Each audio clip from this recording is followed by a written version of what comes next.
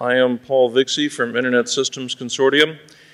Uh, you would usually have heard of us because of Bind, but we also do some security work, of which this is an example. I'm going to turn it over to my partner, Andrew, who's going to uh, present the first part of the talk. Uh, for those of you that maybe saw me earlier today on Meet the Fed, my name is Andrew Fried, um, retired special agent with Treasury. Closer, louder. Is this better? Okay, I don't want to get too overpowering, but so what we actually have here is an FBI NASA operation that required some outside assistance. Um, those of you that are familiar with anybody here not heard of the, the Rove Digital DNS changer? Anybody here who has heard of it? Okay, good. So essentially what happened, this was a very unique situation. The FBI wanted to do a takedown of a very large botnet, but the botnet essentially would have taken the, the internet access away from those people that were infected. And they were kind of concerned that they would break the internet if they just took everything down. So they started uh, a group of people called the, the DC Working Group, Domain Changer Working Group, and our goal was to try and identify the people that were uh, infected and to provide notification remediation while at the same time doing something very cool, which is what Paul did, and that was that we usurped their botnet, replacing it with our own DNS infrastructure so that we could continue to provide DNS resolution from the time the FBI took the infrastructure down through to the time that they were quote unquote mitigated. So that's really what we're going to talk about today. And has anybody, how many people of you, how many of you have actually run uh, an active sinkhole on the internet? Yes, no? Okay.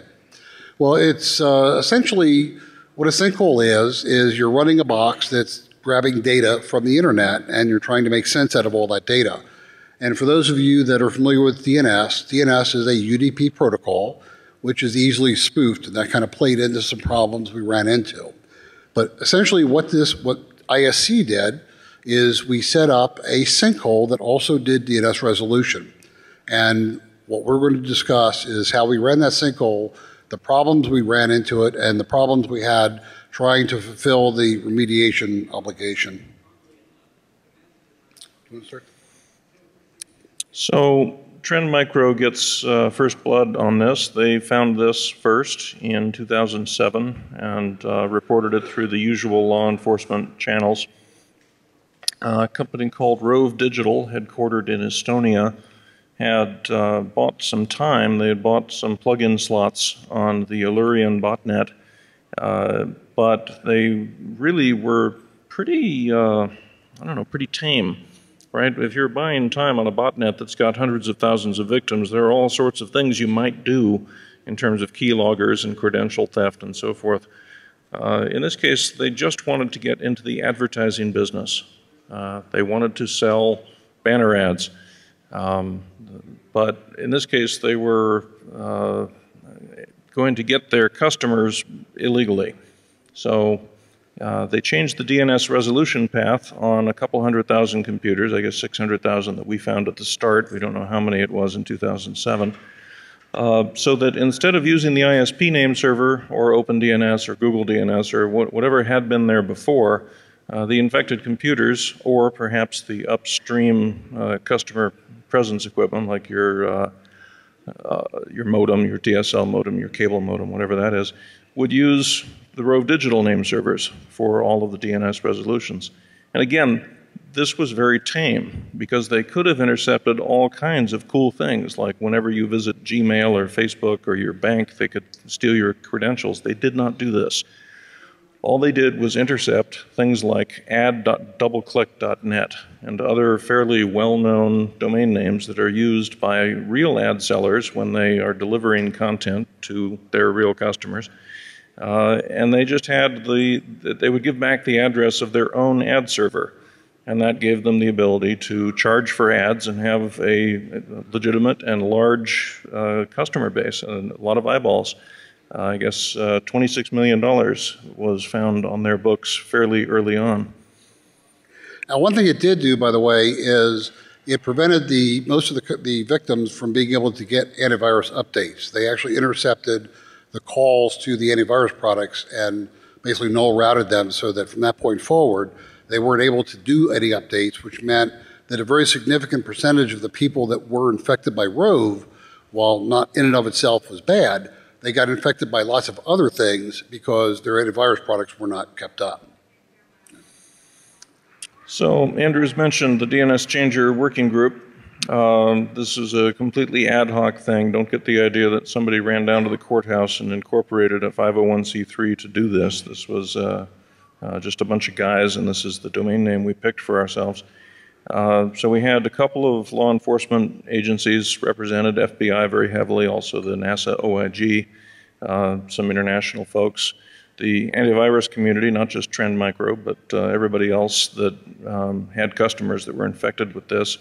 Uh, ISPs, very important in this case because they were the ones that were going to get all the phone calls if we turned it off wrong.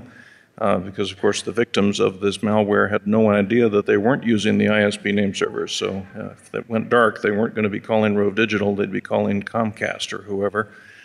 Uh, security researchers, me, uh, Andrew here, David Dagon, various people that you've seen on this stage before uh, who normally get pulled into this kind of thing.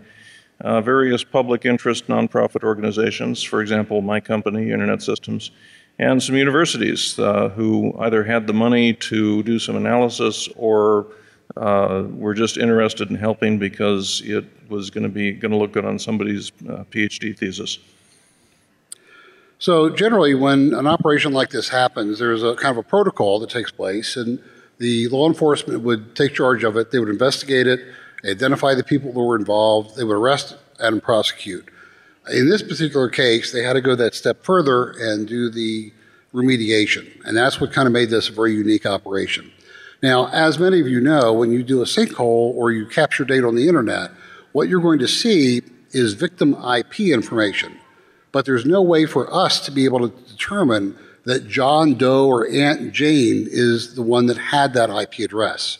So we had to rely on working with large remediation companies such as, um, say, like Cymru, Shadow Server, um, to, to, provide them information that they in turn could relay back into their communities.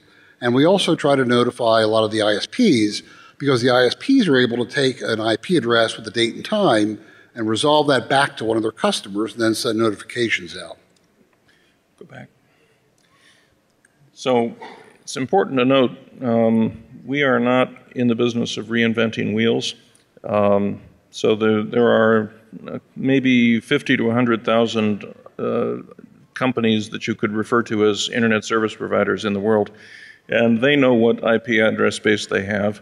And if you if they put it into Whois correctly after all the mergers and acquisitions, um, then we can find out too. So we could have said, ah, we have the victim, we have the, all these log files with the victim IPs, and let's figure out how to send notifications. But uh, we didn't do that. That is a well-solved problem.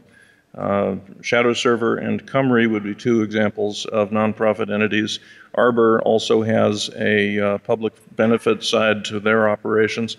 So pretty much if you can get the victim uh, syslog information to those people, they will do a very good job of the outreach it takes to make sure that every ISP who has victims in their network will then get it. So we, we did not try and take on that part. We just asked them to join the working group. So the operation was all scheduled to take place initially on November 8th. Uh, there was a multinational uh, investigation, and on the evening of November 8th, arrests were made in Estonia and those arrests were coordinated with takedowns that we did primarily in New York and Chicago. Uh, I flew up to Chicago to handle the takedown there. Paul was in New York, and we had some other people that were dealing with the people and, and stuff that was in Estonia. Uh, they were able to arrest six of the seven people that they had warrants for. I believe one of them, the Andrey uh, Taame, is still uh, at large.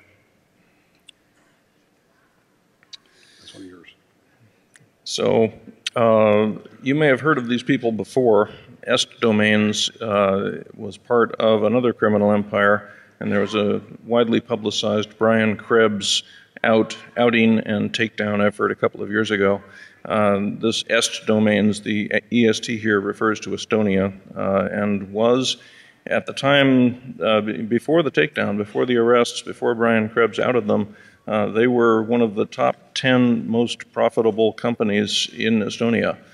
Um, and uh, nobody knew, uh, not nobody, nobody in the business community knew that they were actually a criminal empire in disguise. And here's the example. Um, I can't translate the Estonian, but if you look at number one on the list, uh, you'll see that uh, they were taken quite seriously in the Estonian uh, business community. So the other interesting thing that we had to do was we essentially usurped their address space and redirected it to our own servers. And that's how we were able to put our own DNS servers in the space that they were currently answering. Usurped is such a strong word. Um, so, wearing one of my other hats, I am a member of the Board of Trustees for ARIN, who is the address allocator for the United States, Canada, and uh, most of the Caribbean islands. Uh, and I can tell you that uh, we care very much, we, ARIN, care very much that address space not be pirated. Uh, if you're aware of cases where that's happening, send us email. If you don't know anybody else at ARIN, send me email. We will look into it. Um, but um, so we didn't really usurp it. In fact, what we did is we got a court order that uh, seized the equipment, including the router uh, on which these IP addresses were configured, and uh, sort of that, that court order designated Internet Systems Consortium, which is my day job, uh, as the custodian, as the, the, the keeper, essentially.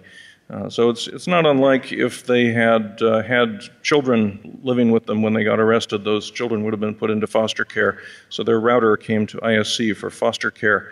And according to ARIN rules, if you are transferring assets that use IP addresses, then it's okay for the IP addresses to be transferred with the business and with the equipment that uses those. That's how mergers and acquisitions work, for example.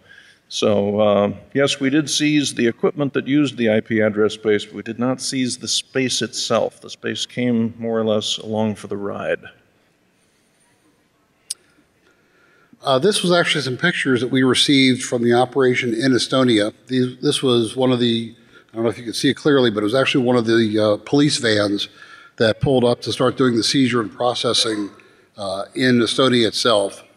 Uh, these are some of the agents removing some of the equipment from Estonia. And once again, all three of these locations uh, were hit with search warrants at exactly the same time. So I was the uh, hands on the keyboard in New York City where most of the action went. Uh, took place. And uh, yes, I, I, arrived the day before, did some installation, got the new servers working. Uh, we all went out to dinner. And the deal was we had to wait for the arrests to occur in Estonia before we could go intrusive on their router and actually reconfigure anything, because otherwise it was possible that they, sitting there in Estonia, might see on the monitoring system that uh, all of a sudden their equipment was uh, out of their hands. So uh, there was a nine hour time difference, and it really did take uh, until 3 o'clock in the morning Eastern time, I guess a five hour six hour time difference there. It's nine hours Pacific. Um, so at 3 a.m., we finally got the thumbs up. Okay, we've arrested the bad guys. You may, you may take their equipment. Uh, at which time I broke into the router, and I, I, I, want it known it had been at that time 17 years since the last time I had typed commands at a router. Uh, so it took a couple of hours to uh, move the first block of address space, and then it took a couple more hours to move the rest. So we started with the New York space, and uh, during all that time, Andrew was cooling his heels in Chicago uh, because he couldn't unplug any of that stuff while it was still serving victims. So after we got done in New York, uh, we moved to Chicago, and once we got Chicago moved, I gave Andrew the all K, uh, the, the, all clear. Um, at which point uh, I was due back in uh, Washington D.C., so I ran for the ran for the train, and FBI had the unenviable task of actually loading all that equipment into a truck, except the router and my servers, but everything else went. So this is what it looked like in, in Chicago that night. It was kind of a misty, rainy, drizzly night, which is typical Chicago weather.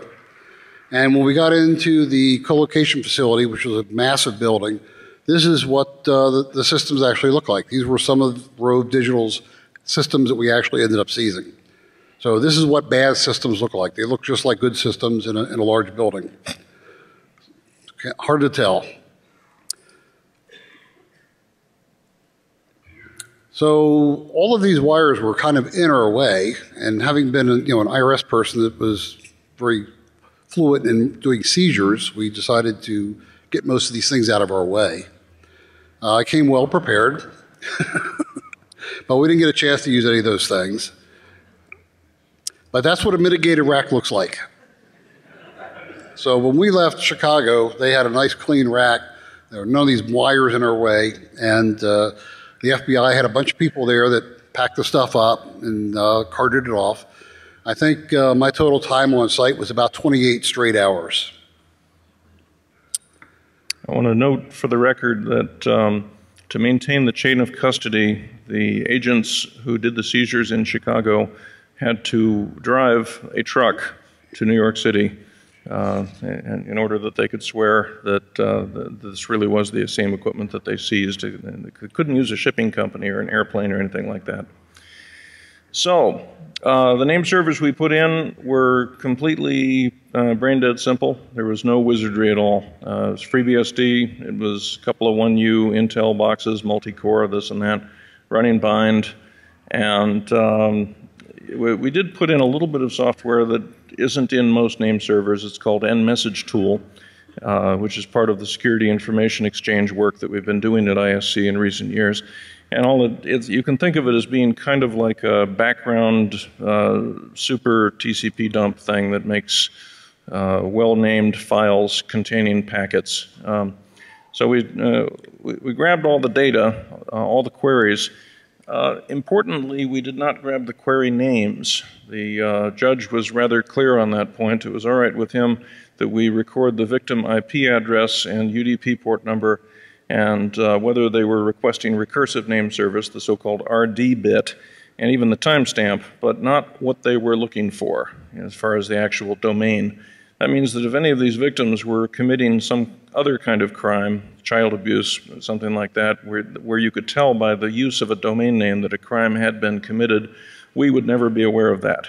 Uh, that we just that, that that would be what they said in Ghostbusters: "Don't cross the streams." So um, th there was no privacy violated at all. All we knew was that somebody was infected, not what they were doing. And we also never made the data directly available to the FBI or any other government entity because they didn't want to have it. Uh, there's all kinds of laws about what they're not allowed to have, and they erred on the side of not having any of this. So what we gave them was statistics. Uh, this is how many hits we had per day, uh, that kind of thing, not uh, who are the victims or how many times uh, did they use their DNS server that, that day. Uh, the, the actual victim details were only made available to ISPs and the so-called super remediators like Cymru, Shadow Server, Arbor, people like that that I've already mentioned. So we had an interesting thing happen. The FBI had been collecting some data so that when the takedown happened, they would send some initial notices out to some of the larger ISPs advising them that they had addresses within their assigned space that was infected. Unfortunately, they, this is one of the few lessons learned that we, we had. They sent out data that was like three months old, which was absolutely useless. And when they sent it out, they sent it out with a paper letter that wasn't email, it was actual, you know, the old snail mail with login information for the individual companies or ISPs to be able to retrieve the data. But in their infinite wisdom, they ended up assigning like a 32 character password, all with uppercase L's, O's, zeros, ones. So nobody could make sense out of this stuff. And if they spent hours trying every permutation, they finally ended up getting data that they, was absolutely unactionable. So when Andrew describes the data as being useless, um, I want to go a little bit further. The, uh, the, the, the taps they did before I got there uh, were of a trunked circuit. that contained many VLANs, and uh, their other consultant didn't bother to tell them that. And so, if you ever hear or if you read in the history books that um, there were six million, or excuse me, four million victims, and then you hear us say there were 600,000 victims, that's because there were some other IP addresses on other VLANs in the first uh, tap and trace they did that uh, uh, we didn't see because we were properly configured. So the other thing we noticed is that uh, you know our initial interest was in trying to get victims notified so they could take some end user remediation. What we found out was that most of the ISPs had one goal, and that was to not have the customer end up calling their help desk. That, that was cost, going to cost them money and effort, and they didn't want that to happen. So that actually ended up causing this whole operation to get delayed from what was initially going to be four months to an eight month period. Now, during that eight months, some ISPs were very aggressive in setting up walled gardens. They did you know, live notifications. They did all sorts of good stuff. We had some that did just you know uh, regular email notifications and some ISPs did absolutely nothing. So, uh, clarifying one minor point, I don't want to give you the idea that a bunch of large companies who stand to lose a lot of money can just uh, swing a big hammer and make the federal government change what they were otherwise going to do, uh, unless it involves oil leases. So, um, the FBI takes no official recognition of whether an ISP is going to lose money or whether a lot of customers are going to call in and perhaps overwhelm call centers. What they do care deeply about is that there not be a headline that says FBI breaks internet for what they thought at that time was 4 million people. That was what they were trying to do was keep their name out of the news. So the first court order expires in, or expired in, in uh, March.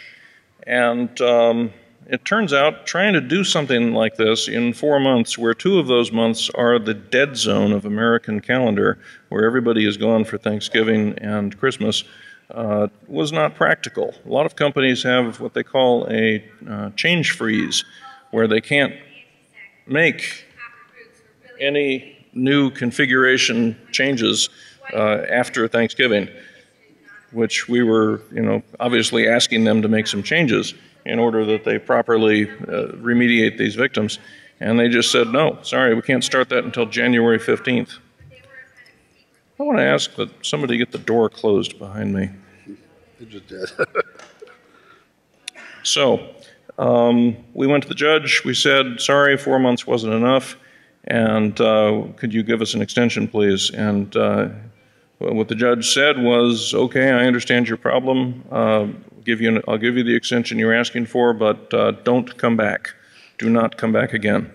So uh, th- that turned out to be a good statement because whenever somebody would say, Is there going to be another extension? Do I really have to clean up all my victims by uh, July 9th? I got to say, Well, yeah, I don't think there's going to be another extension, so you better get it done. So there were, there were two also two additional surprises to us, and that was that we also later learned that some of the malware was causing home gateways, like the Linksys routers, to also have DNS changes. And what that essentially did was it caused reports of IPs being infected when in fact the victims checked their system and they weren't infected. Or they were Macintoshes. Or, or they were Macintoshes, which obviously weren't really affected. We also discovered that in the initial stage, when we first did the takedown, there were no tools available to clean this up. So the only way that people could remediate was to literally low level the machine and rebuild it. And that was the other reason this took so long. After about three or four months, some tools were made available that really made that a lot easier. So with the stats, we had some problems, and this is a, one of the other lessons learned. Anytime you're pulling data off of the internet, you end up with an IP address, but that IP address could be a single host it could be a firewall with 10,000 hosts behind it, or it could be one of 20 different IP addresses that one single machine gets in a single day because they keep moving and getting dynamically assigned IP addresses. So trying to deal with the numbers was a little challenging when people would ask us how many systems were infected. All we could say was this is how many different IP addresses we saw hitting us each day. need to fix the wall here. So the other problem that creeps in when you are trying to estimate a population size is that um, our sinkhole was UDP based, was not TCP based. With TCP, uh, there ha has to be a three way handshake where both sides have to really be able to be confident in the other end's IP address before communication can take place. With UDP, that does not happen. There's no state, there's no handshake, there's no nothing. You have one packet that goes out, you have one packet that comes back, and it's very fast for that reason, much less time spent waiting for packets to go back and forth. But you also have much less, uh, actually, you have no confidence at all in what is the other guy's IP address. If you're a server and you're receiving a what looks like a query, you just answer it.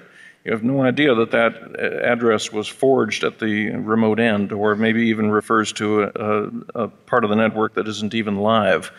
Um, so on June 16th, the statistics that uh, we were gathering got uh, particularly bad. All of a sudden, it looked as though uh, something like 2 million different victims were all checking in, and actually, no, it was just one DDoS using random, uh, randomized source IP addresses. So um, I get to mention here that there's a DNS firewall capability in Bind now. It's called RPZ, Response Policy Zone. So if uh, you'd like to be able to do in your DNS recursive server the type of firewalling you've been doing at the IP layer or maybe at the email layer, you now can. And we used that feature in these name servers in order to answer differently depending on what the query was. So the real DNS-OK sites that Andrew will describe in a moment, um, the, the real ones had some IP address that was in the normal DNS and it was in the normal web and it's just where you would go unless you were one of my customers, one of these victims. Come to my server, there would be a firewall rule that said, ah, you're asking about this name. I'm going to lie to you now. I'm going to give you the name, that the IP address I want you as a victim to have that is different from the truth. So in uh, the earlier days, we did a Conficker uh, eye chart we were able to set up very simple websites that people could click on and get a visual indicator whether or not they were infected or not. So we wanted to try and replicate some of this, same simplicity for the average population. And we decided to do this using the bind RPZ feature. Essentially, we had a number of systems throughout the world that were set up, and if you went to that website, normally you would see a page that looks something like this. This is the page called uh, dnsok.us. And in DNS, it would come up to a specific IP and you would see this screen. If, however, you were infected and you went to the Rove Digital address space, we would retrieve a separate, this different IP address, and you would end up with this page, which would say you're infected. Now, this is just some really easy DNS wizardry. We did nothing on the systems. There was no JavaScript, no JPEGs that were, you know, dynamic. It was just really simple, straight HTML. Yet, we still had somebody reach out to us and say that they weren't infected until they went to our website and that we infected them. So, you know, you never, never. Before we get off of this point, I want to say uh, this is an extremely low grade, unreliable method, and I was embarrassed that we were doing it, but it was all we had. So if you can, I don't know if you can read this from the back of the screen. What it says is you, uh, your computer is using the DNS changer name servers and is therefore probably infected. Which is to say, if you have a Macintosh and you could not possibly have been infected, you might still be behind some home gateway that got reprogrammed when the Alureon virus was passing through that house. And so we're not guaranteeing that you're infected just because you're seeing this page. You're probably infected. The same works the other way. Uh, we have to say you're probably not infected on the green page. Um, it appears to be looking up IP addresses correctly. Uh, we don't actually know that that happened because, for all we know, you are using some kind of a DNS proxy who is correct, but only if you're using certain names and without certain uh, local exclusion lists of your own and so forth. So uh, the, both the green and the red page were extremely unreliable, but uh, they helped us get our name in the papers, and so I think we'll call it a success. Yeah, one of the problems we ran into is that a number of the ISPs decided to do internal redirection, which means when they saw any queries going out to the address space that was identified as Rove Digital name servers, they internally redirected. So if somebody was infected and they tried to do a DNS query, the ISP would redirect them to a good DNS server and they would end up falsely with the green symbol. So that was a problem we couldn't get around, unfortunately. So operating the sinkhole, um, we ran it for 244 days. Uh, as data came in, because of the volume, I do some deduplication because there's no reason to, to, to log the fact that a system hit us you know, 3,000 times in one day. And overall, from the beginning to the end of the operation, that uh, dedupe ratio was probably somewhere around 350 to 1, which means for every 350 times we saw a system, we only had a log at once. Uh, total dedupe points, if you want to see that number with all the commas, is uh, about 1.2 billion records that we ended up having to produce reports for. And uh, inside the United States, from start to end, we saw about 6.7 million unique IP addresses, and worldwide, about 42 million IP addresses. With the efforts we did, uh, it wasn't quite as effective as we had hoped, but we actually did see some remediation. So when this thing started, we went from about 600,000 systems and towards the end, we were probably at about 220 to 230,000. But once again, the caveat is that the ISPs had plenty of time to do internal redirection, and we may have been seeing the fact that the ISPs were preventing their victims from actually hitting us. Um, I want to mention that the importance of getting your name in the papers is to get a lot of people to visit your DNSOK.us uh, server or .de server, whatever. There were a whole bunch of DNS OK servers.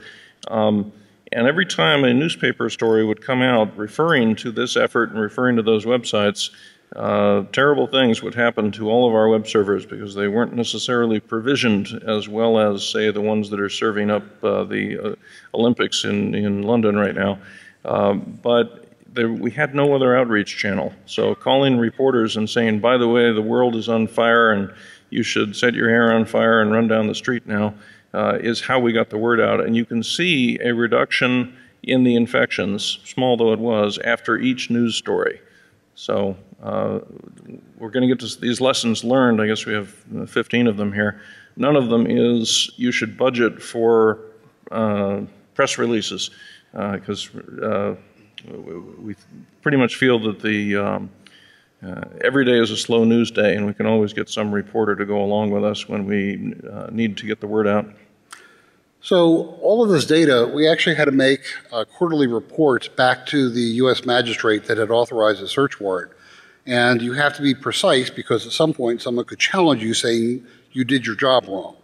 Well, we constantly had to come up with a disclaimer that we had certain statistics, however, that may or may not be accurate because external things could prevent us from having the, the correct numbers. And you know, the example of that was the eye chart we just mentioned. If somebody went to it and their internal redirection was putting them to the right address, but they were infected, we wouldn't have the correct number. So by you know, giving advance notice to the ISPs and having them do internal redirection before some of the initial stats hit, it kind of uh, borked the eye chart and also some initial stats.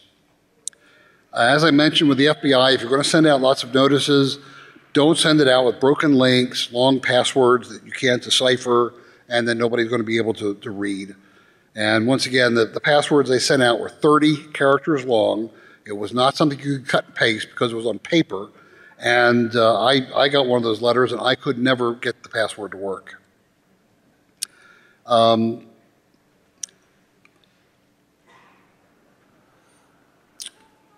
you want to talk about the, biggest one of the biggest concerns we had from the very beginning is you know our operation had a finite period of time but we knew that there were going to be hundreds of thousands of systems that are going to remain infected. What happens to that address space? It becomes poison space. Yeah so uh, this is a small problem for the ARIN region and a larger problem for uh, the for Europe and for the the world and for the whole sort of internet.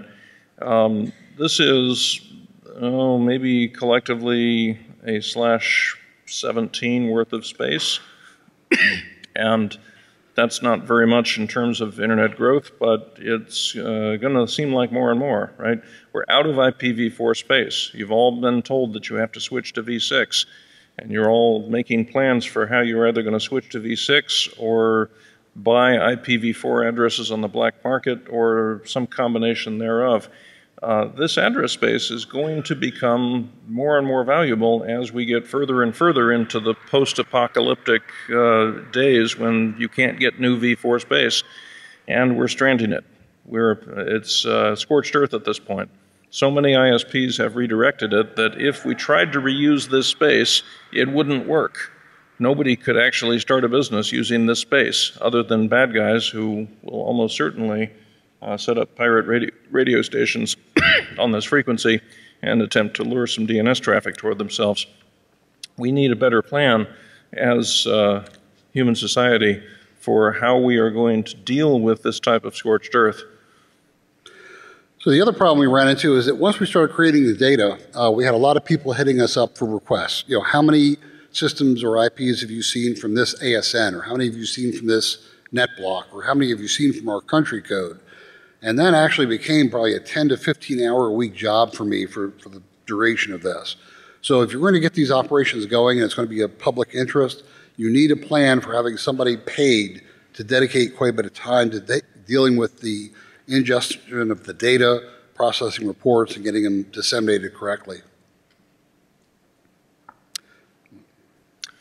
Yeah, so all of this communication work that I've described, where you're trying to get reporters to uh, help you um, or you're just trying to put out reasonable web content. And we had a project webpage, dcwg.org.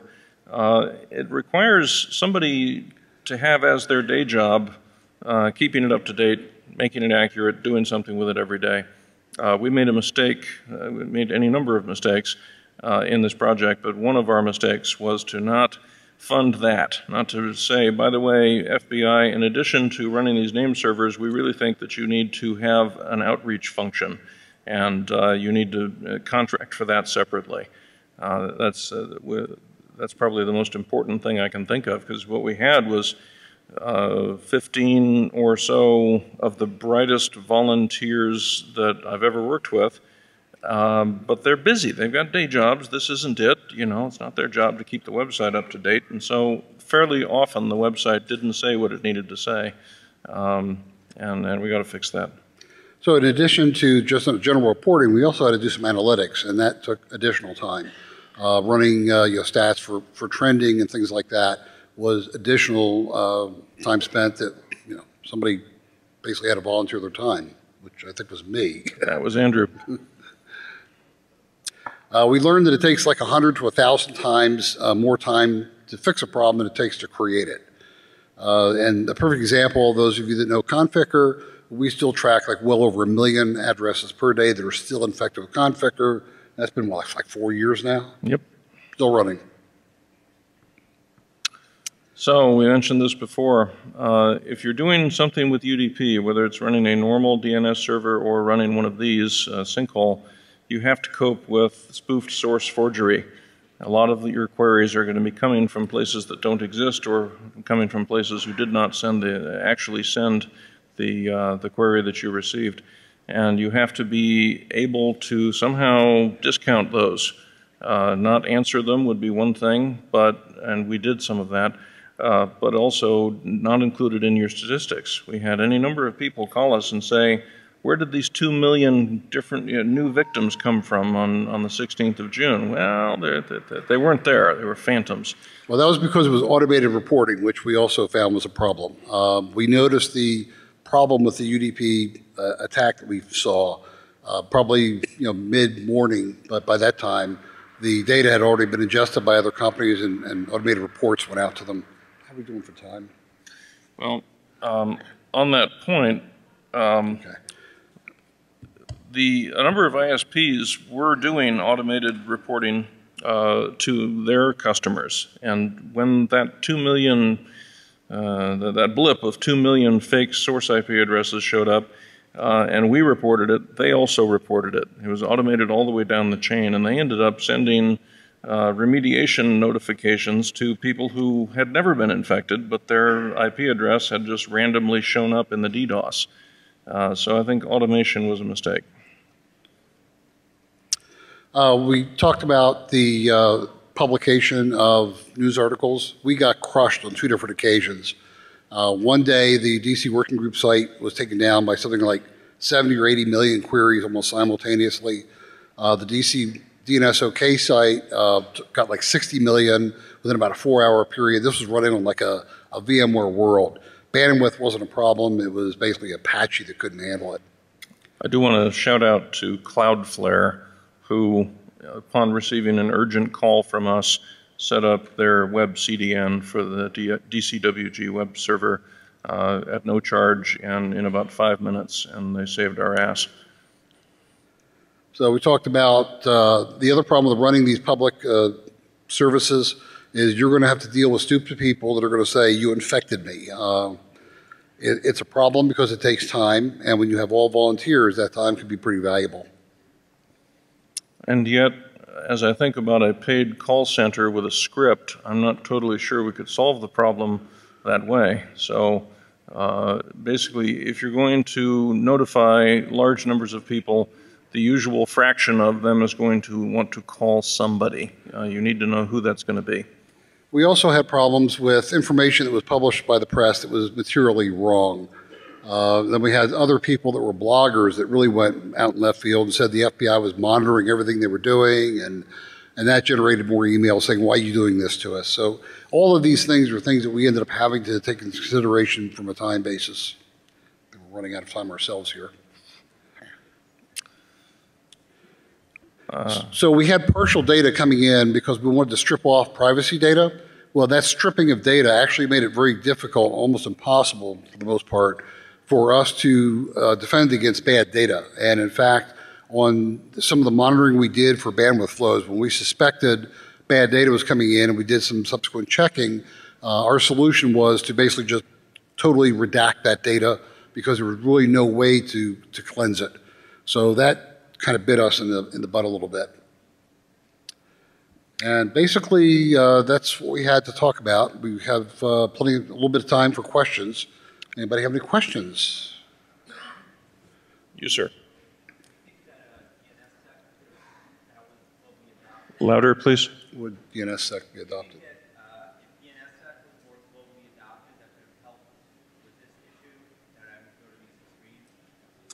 Uh, the question is, would DNSSEC have made a difference? And um, so I've been working on trying to get DNSSEC deployed and, uh, I guess, defined and deployed for 16, 17 years now.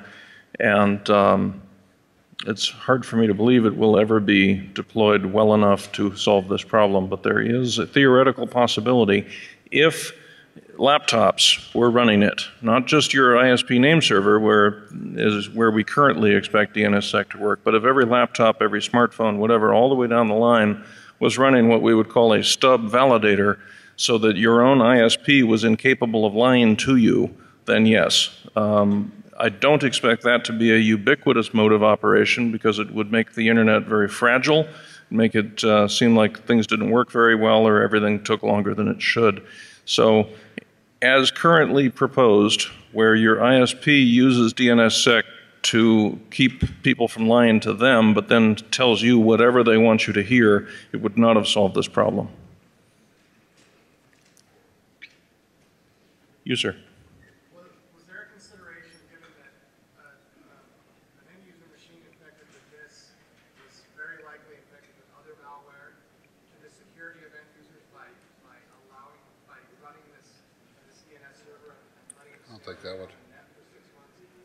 Well, the question was, was the consideration given that the infected machines posed a risk to themselves and others because of the subsequent infections? Uh, you know, the strange thing is, this was probably the easiest botnet to, to, to deal with. All we had to do was shut down the DNS name servers, and they were basically out of business. Unfortunately, that wasn't something we could do. And uh, the ISPs are the ones that really have to govern how they're going to deal with their customers and it was up to the ISPs to determine whether they notified them. Some ISPs actually did drop them, uh, blackwalled them. Some of them sinkholed them. You know, but it was a, it was a decision the ISP had to make with their own customer. Let me follow up a little bit. Uh, Conficker is another example of malware whose first act upon getting into your machine will turn off your ability to fetch antivirus. Um, that turned out to be the signature we used to have uh, uh, Conficker eye chart websites. Because if you couldn't fetch the logo from Microsoft Update, then you were probably infected, that kind of thing. Um, I believe that this is a huge problem because, um, you know, the, the, the idea that we're going to patch things fast enough to keep bad software from hurting us is absurd on its face, but it is at least something, and it is the only thing we're doing. And the, the, the idea that uh, you can infect somebody and turn that off, uh, I think it does make the, the, the world materially less safe. Um, it, it, may be that uh, we need to rethink patching and we re need to rethink uh, the, the, daily regime of reaching out to see if there are new patches and whatnot. Uh, but yes, a lot of consideration was given there. Anybody else? Okay, well, thank you very much, and uh, hope the rest of your evening goes well.